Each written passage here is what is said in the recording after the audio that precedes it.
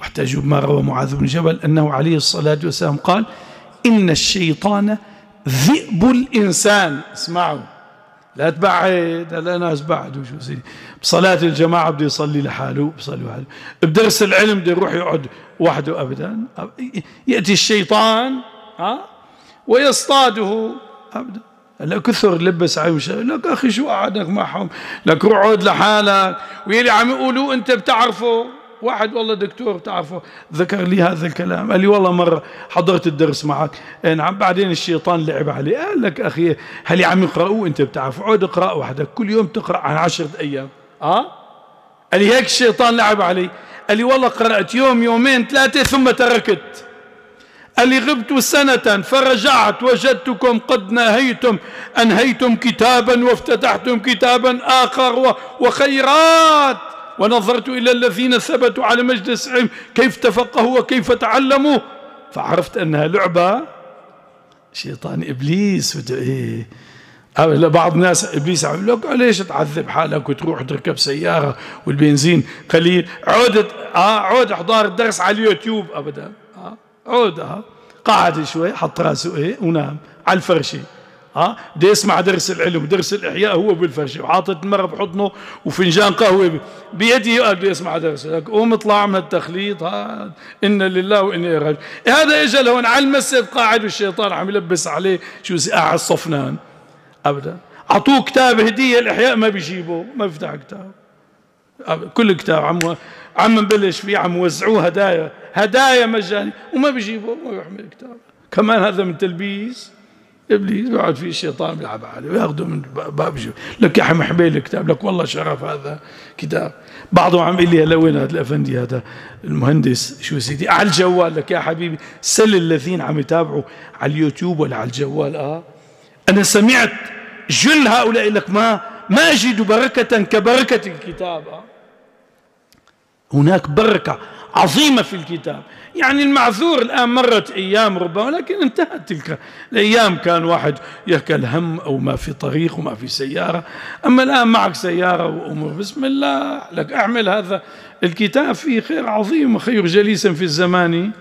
كتاب تخلو به إن خانك الأحباب لا مفشيا سرا إذا استودعته وتفاد منه حكمته. وصواب تعمل كتاب لك في روح الآن عم يصير لك الله يعافينا من الجهل. قولوا آمين وعافينا من القسوة الآن أنت عم تقرأ هذا الكتاب في مجلس بصير في صلة هيك روحية الآن في روح الآن. إذا ما ما تجد هذا قل يا ربي أكرمني بهذا. قل أكرمني بهذا.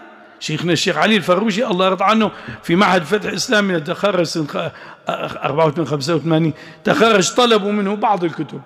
نعم. يعني هناك كتب ما كانت متوفرة في الأسواق فكان المعهد يعطي مثل آه، كتاب المواريث مثل العقائد النسفية ما كان هذا متوفرا فكان يعطونه الطالب آه ثم يأخذونه منه.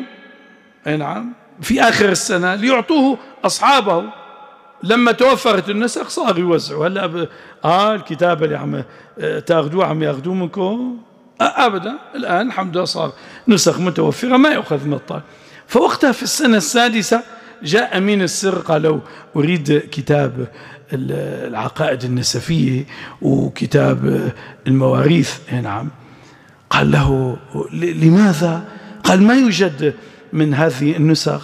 فقال آه، طيب أنا كتاب اسمعوا كتاب قرأته على شيخنا الشيخ أديب الكلاس في العقيدة كيف أتركه؟ والله هذا غير ممكن. أنا الآن بعد عشرين سنة إذا فتحت الكتاب ربي يذكرني بالكلام الذي كان يقوله الشيخ أديب الكلاس وبالروحانية التي كنا نجدها في مجلسه. قال أبدا أنا قال لو أنا أصور لك النسخة. ها؟ أول شيء قال له ما بنعطيك براء الذمة حتى تعطينا أبدا. قال له لا تعطي. بعدين قال له أخي بصور لا. قال له أستأذن المدير أستأذن المدير. قال له بسم الله. صور نسختين قال لهم تفضلوا النسخة أما النسخة الأصلية بقيت إيه؟ بقيت عنده بقيت عنده. أنت الآن نحضر الآن درس الإحياء نسأل الله عز وجل. أو بقية كتب ولله الحمد نسأل الله التوفيق. أنا ما يعني بعض الناس يتوسعون في هذا لكن شيخنا ما كان يتوسع في هذا. يعني بعض الناس الآن قد يعمل قبل الدرس دعاية شهر وشهرين وثلاثة بالأسانيد وبالإجازات وبكل هذا أه؟ نعم شيخنا ما كان يعني يصنع هذا. مو معناته أنه ما في إجازات لا في أسانيد أبدا. والله من فضل ربي عز وجل. كأنا ما أحب شيخنا ما كان ولكن والله هناك والله هناك إجازات. يشهد الله صبت صبا علي. يشهد الله العظيم. أبدا. وذكرت لكم بعضها. وإذا أردت استقصاء في هذا ارجع عند الشيخ الرحال هو مسجل وهو يحفظ هذا في إجازات وفي أسانيد وفي وفي وفي لكن شيخنا ما كان يهتم بهذا. لكن هذا كله حاصل أثناء إيه؟ ولله الحمد. هذا الإحياء الذي قرأت على شيخنا الشيخ عبد الرزاق من ألفه إلى يائه ولله الحمد. هنا في الجامع الأموي يوم الجمعة. ثم قرأناه مرة ثانية وهذا وهذه المرة الثالثة. نسأل الله أن يفتح علينا. قولوا آمين افتح علينا فتحا وأنت خير الفاتحين.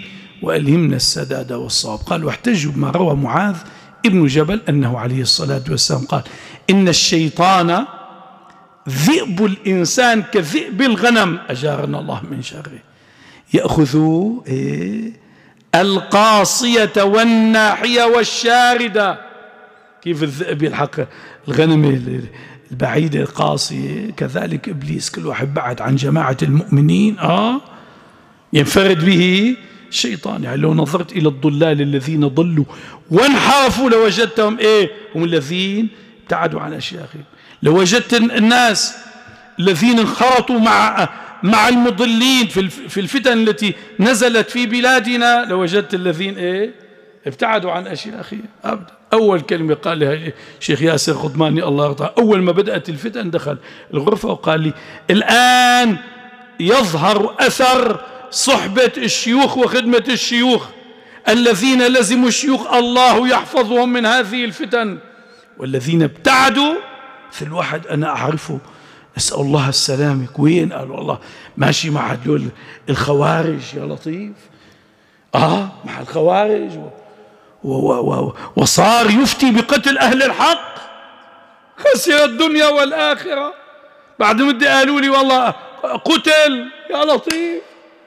كيف أنت تترك الآن؟ لك أنت درست الآن عن شيوخ أهل أهل فضل وعند أهل أهل الحق. كيف تتركهم الآن وتمشي مع أناس ما تدري من أين جاءوا ولهم مذاهب باطلة ولهم عليه لهم خروج؟ على أهل الحق وعلى أهل السنة والجماعة. كيف تمشي مع هؤلاء؟ هذه العصابات الإرهابية التي جاءت إلى بلادنا. يا مقلب القلوب ثبت قلوبنا على دينك يا الله. نعم. ما الذي ساق إلى هذا؟ نحن ما خرجنا عن البحث آه؟ أبو حافظ خرجنا. عم يتكلم عن القاصية والناحية أن هؤلاء شردوا ابتعدوا عن الشيوخ التقطهم. أولئك أغروهم بشيء من الدولارات آه؟ فباعوا دينهم وإخوانهم وأوطانهم وصاروا حربا على على المسلمين. نعم. يأخذ القاصية والناحية والشاردة إياكم والشعاب وعليكم بالعامة والجماعة والمساجد. الله أكبر. رواه أحمد في المسند والطبراني في الكبير.